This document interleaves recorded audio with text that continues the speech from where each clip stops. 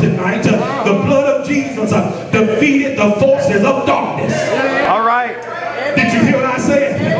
I'm glad I ain't got to fight my own battle tonight. Uh, the blood of Jesus yeah. it defeated all forces of darkness. That's why I don't care when enemies come up against me. I'm going to let Jesus fight my battle. Am I right about it? You see, it was the blood of Jesus that ended slavery. The blood of Jesus took the sting from death. The blood of Jesus snatched the victory from the grave. The blood of Jesus established his church. The blood of Jesus gave us salvation. I tell you, there is power in the blood. Tell somebody there's power in the blood. Tell somebody else there's power in the blood. Turn somebody and tell them it ain't about you.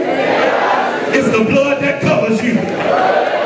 Yes, it was the blood that purchased Acts 20 and 28. It was the blood that justifies us. You know what justification is, don't you? Justification says, yeah, yeah, yeah, you were caught. You were dirty. You were full of sin. You weren't worth the salt in your body. You were caught red-handed. You ain't no good.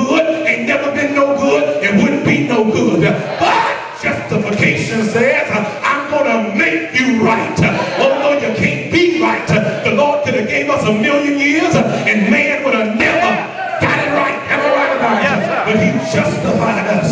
Brethren, as I close, let me leave you with this.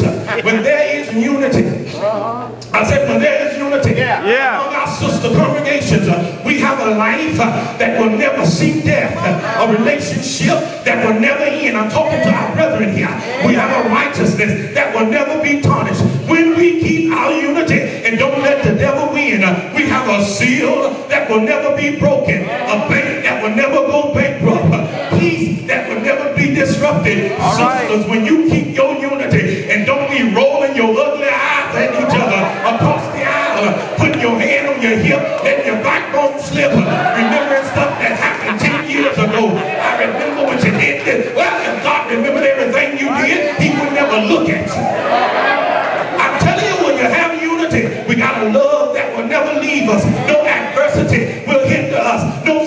situation will constrain us. No power will control us. No enemy will defeat us. No obstruction will block us. No force will limit us. At the last mile of the way, there will be no burden too heavy, no day too long, no night too dark, no river too wide, no mountain too high, no valley too low. Praise God. I can tell you that when you got unity, you don't have to worry about the valley of the shadow of death.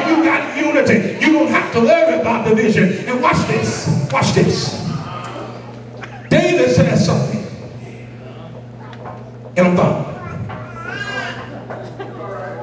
David said something in Psalms 27. Watch this. The Lord is my light and my salvation. Whom Oh. shall Yeah. I fear? Yes, sir. Yes, Now watch this. Let me show you something that I've missed. I've been preaching 32 years. I missed this a long time, Brother Coleman. David didn't have to say, whom shall I fear? Mm-hmm. Amen. When he said the Lord is, number one, he couldn't call the Lord unless he knew the Lord. All right. Tell somebody you gotta have a relationship.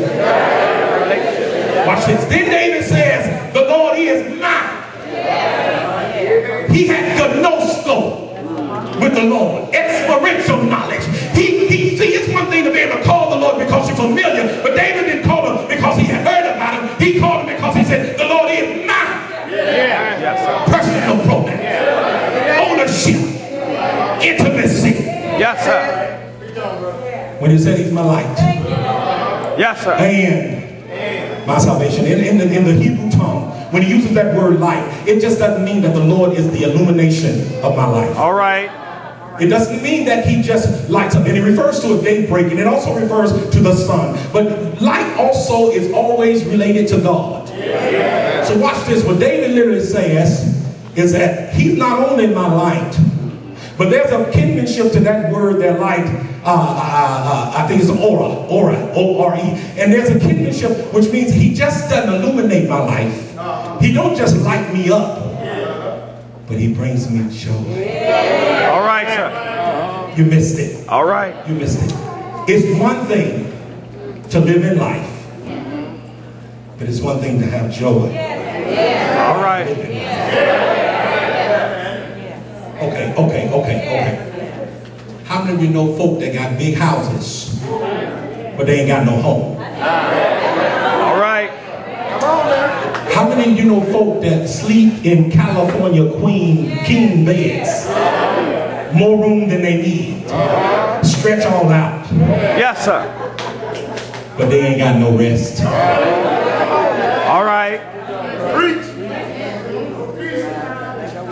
Remember we're family. Remember that we're one. Yeah. And when you get off of your high horse, take the chip off your shoulder. Talk now. Forget about your education. And understand that if you die today, seven days from now we will bury you. Come back to the church and eat chicken and, and, and pound cake Green beans. and some good cold water. And someone else will keep on doing what you used to do. So you remember, you remember that we're family. Remember that we're one. Remember it ain't about you, baby. It was all about the blood.